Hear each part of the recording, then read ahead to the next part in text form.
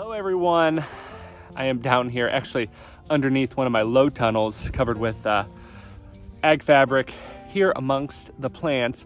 And I've been harvesting some greens because we have a three or four day cold spell coming in and I want to harvest all of my good quality leaves, kind of like these collard greens that are the perfect size that I like to take them in and sauteing up for my wife and I. Um, but I wanted to kind of cover a topic uh, kind of silly underneath this, but there's a question I had when I was kind of a beginning gardener, and that was how often should I harvest and what should harvesting look like?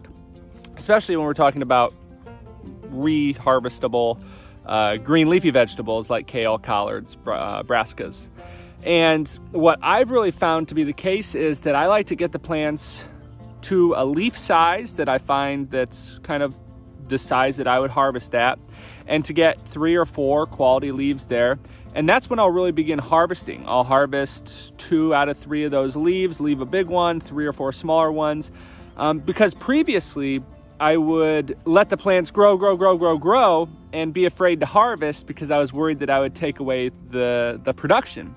When in reality, what you'll find is the more you harvest, the more you pick, the more you prune, the more the plant will produce. And that's kind of counterintuitive, especially if you're a beginner gardener, beginning growing plants.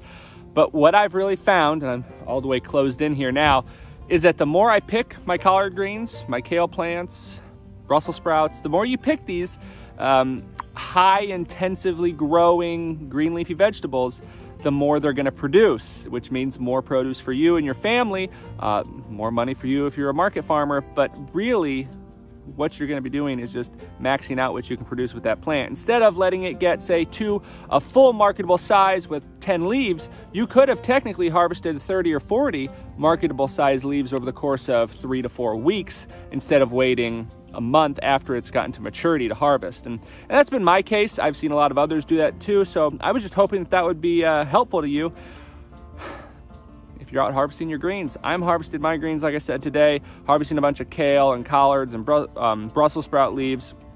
Uh, the collards will be cooked up for sauteed like greens, and the rest of them will go into our morning smoothie mix. Like I, I like to blanch the leaves and then freeze them, and then just have them in the freezer ready to go for our mornings uh, when we have smoothies. So that was really it for today. Hope everyone's having a wonderful last little bit of winter. Spring's on its way. I've got a lot of plants started in the greenhouse inside on the grow racks, and um, just really excited for what's here to what's coming uh, this growing season. So stay tuned. Hopefully, you're excited for growing just like I am.